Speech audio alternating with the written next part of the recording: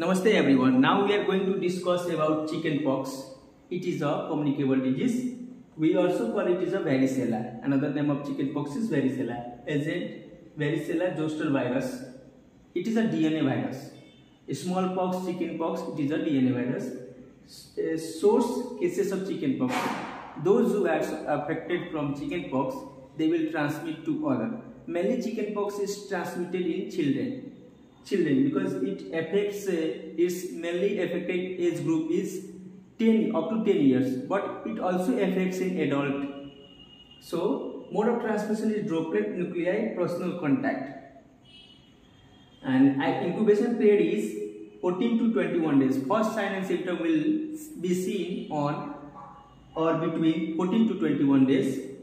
Clinical features fever malaise muscle pain dew drop rashes in the case of chickenpox, those who have suffered, suffer from chicken pox, dew drop rashes will be seen.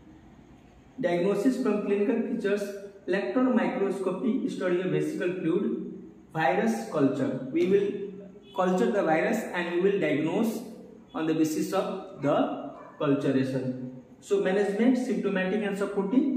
Acyclovir, it is an antiviral uh, drug. So because it is a virus, viral drug, viral disease, so acyclovir is given in the case of those who are affected by uh, chicken pox.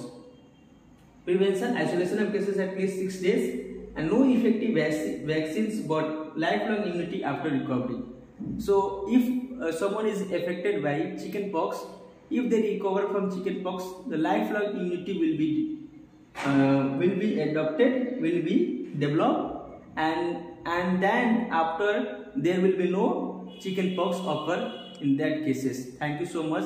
If you like my video, please subscribe my channel and comment. Thank you.